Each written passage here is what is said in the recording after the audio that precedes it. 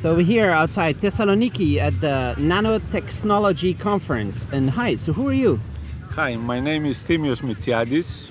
I'm from uh, the University of Zurich, Switzerland, and I'm here for uh, the organization of the whole program for one week. Is it ETH? It is uh, both ETH and University of Zurich. And uh, what do you do over there? Uh, I'm a medical doctor and I'm working uh, with nanotechnology, uh, stem cells, and genetics. So uh, there's a lot of hope in the medical field in those areas, right? And are a lot of things happening? Yes, a lot of things are happening. It's not just hope. Uh, you have some applications that uh, actually are in clinics. Uh, and uh, really, we are trying every day to improve something in the traditional medicine. So um, are you part of the organization here, you say? Yes, in the nanomedicine. So you uh, uh, find all the people that are speaking, or what do you do? Yes, that means uh, we are uh, looking uh, for colleagues that are working uh, all around the world. We are uh, inviting them if they are interested to join this conference and uh, to equilibrate, to balance a little bit the program by giving lectures in uh, covering all fields of the medical. So um, nanotechnology, the most is the most important part of nanotechnology is the nanomedicine. Oh, one second, sorry, there's a, there's a nice, an airplane there. Right. Um, is it nanomedicine? The, you would say the best part of nanotechnology? No, nanotechnology, of course, you nanotechnology, you have photovoltaics, you have a lot for energy production and, and so on, but uh, uh, medicine is, is my field. I try really to apply or to make a marriage of uh, uh, the different disciplines, medical discipline uh, with nanotechnology and stem cells and so on, for diagnostic reasons, for therapies, targeted therapies, and uh, other things that we are elaborating actually. Uh, so can you go into more details? What is possible? What is not possible? What are you trying to do exactly? Possible is the diagnostics. For instance, this is happening if you are taking uh, the medicine, you can inhalate or exhalate, and if you have a disease and you are freezing the nanoparticles that in the air, uh, you can detect probably some diseases that uh, are inside of yours and you don't even know that are existing. So it is an early diagnostic tool. Uh, another part, uh, it is really to make a tar- targeted treatment. This is um, many assays now for cancer therapy, uh, to go to hit cancer cells in order to die. Um, and uh, the other part, it is really to give uh, some uh, uh, treatments, uh, chronic and so on, with inflammation and so on. So you, you are using this. Another part that is, it is really about the, the blood, that you are doing, uh, you are treating the blood, you are purifying the blood and so on for people that are suffering from chronic diseases. So medicine always have to go through the stomach. It always has to be a pill you swallow and it goes there, and or there's other ways to do. No, it's not just a pill. You can make a, a local injection. Uh, you can uh, you can make uh, other therapies, alternative therapies. It's not uh, just a pill. Of course, the traditional medicine have antibiotics. They are going through the mouth always.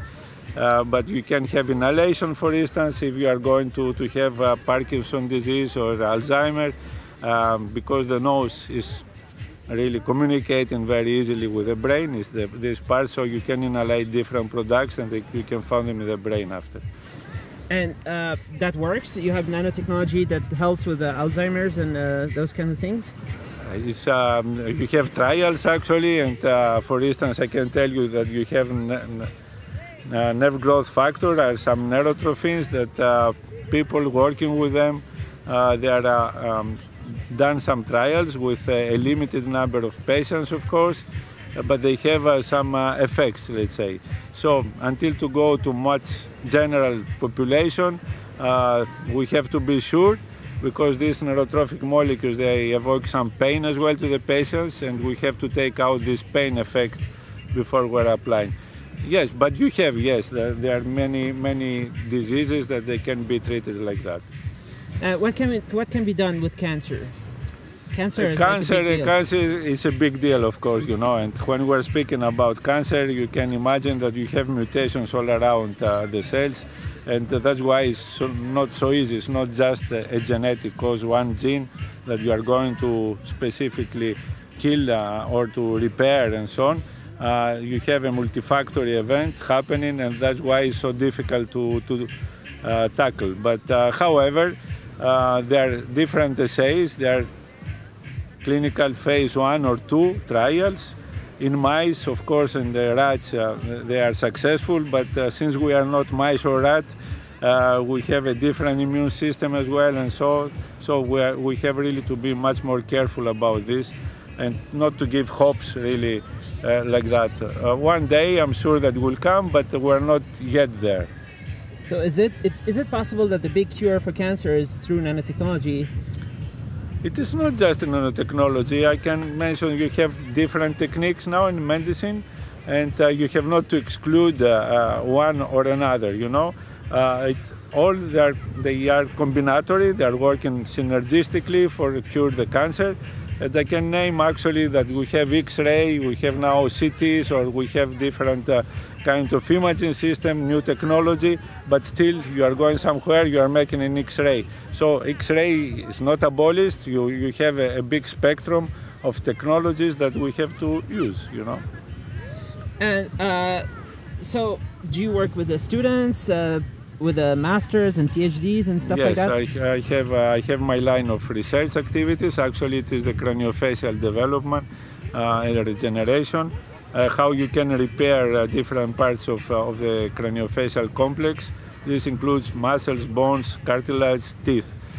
so all this really you have to know the specificity because each tissue is different, it's not uh, the same.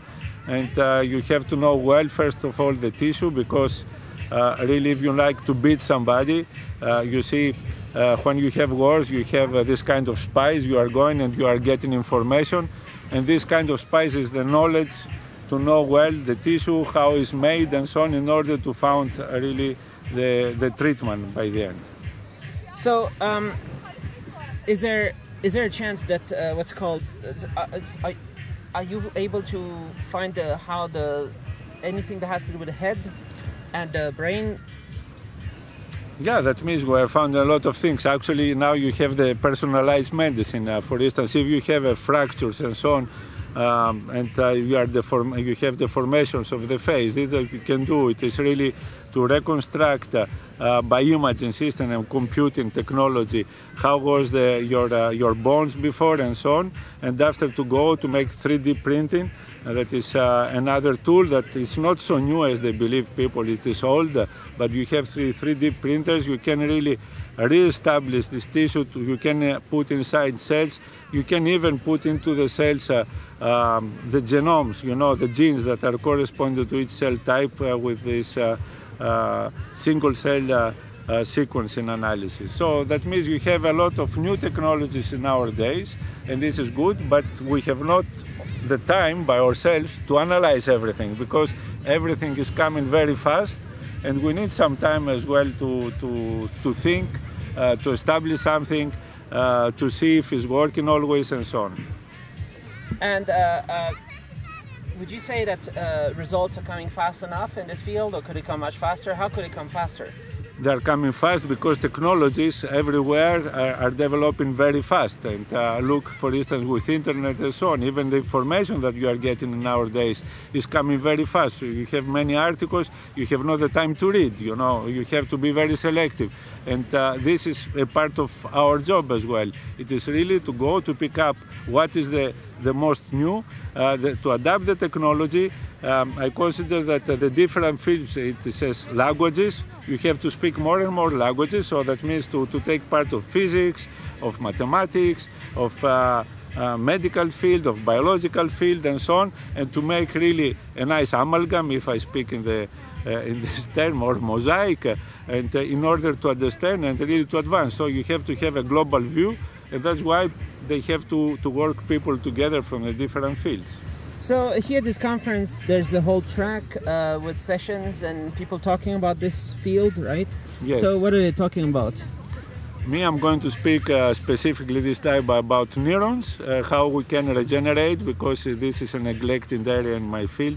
Uh, that means we have, of course, Parkinson. This is the central nervous system and Alzheimer, but we have other uh, injuries uh, all around our body are with motor neurons or trigeminal ganglia. So this really, uh, we don't know uh, what the part of innervation in the reconstruction of the body because most of the people they are trying to fabricate uh, let's say the, the bone the heart tissue by putting some blunt supply but uh, innervation is not making part of the equation yet and we know that nerves are very important not just for the sensation pain but it's as well by neurotransmitters these molecules that really they are allowing the behavior to change of cells and so on so these are important things that uh, unfortunately are neglected and I'm trying to work in these things.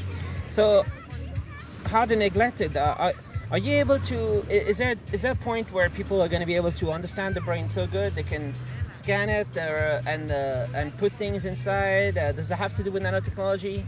You can put uh, things in the brain inside, but you know, if you like to hit uh, two or three cells that probably are defective, you have to imagine that uh, the, the cells are not alone. They are moving in one space that we are calling microenvironment uh, that is influencing the cell. So if you like really to, to re repair uh, a, a, tissue, you have to take part of the homing as well of the cell. So that means it's not the cells alone, you have all the other elements. And this is the important part of medicine and the anatomy and so on, these classical courses, embryology that we were following, is really to incorporate these elements in, in the uh, modern uh, uh, fields of biology and medicine. Uh, uh, what are the other tracks? What are the other people talking about here? Are there some people doing a lot of different work on the medicine? Yeah, they're, they're working about cancers, they are working uh, about uh, uh, cartilage, about bone, uh, you know, all this. Uh, of course, you can uh, go with the nanomaterials the, to improve. For instance, you have other implants that you can modify the surface of the implant, like this, the, the cells are attaching easily, or they have different properties as well. So you have a lot of things and even photovoltaics, if you like to put energy somewhere, uh, you have to understand what is going on in the tissue because we have uh, elements that they are producing energy in our body in order to bring this uh, combination in the future, you know. So we're speaking, of course, what is happening right now, but uh, we have a, a, view in the future, an eye on the future, what can happen, you know can be hypotheses right now that we like to verify, but if we are in these meetings, big meetings, this is offering, it is really to network, to see others' works, and uh, really to imagine new products. So. And this is the top conference about nanotechnology in Europe? Uh, I don't know if it is the, in Europe or not, but this I know for this conference because I'm coming now for consecutive years uh, that uh, uh, is developing the field. People are coming back. Uh, they like really to learn. They like to connect. And after you are keeping, you know, for this European stuff, in any case, you have these European grants. They are putting themselves together. And after you have with uh, Asia uh, some uh, relations, you are going there. You are see what they are doing. Uh, you see all the new developments and so on. this is. I can say that this is very successful because the quality is increasing every year and uh, it is uh, well organized uh, for standards really European. we're in Greece, but it's really one of the best organized conferences in, in Europe, I believe.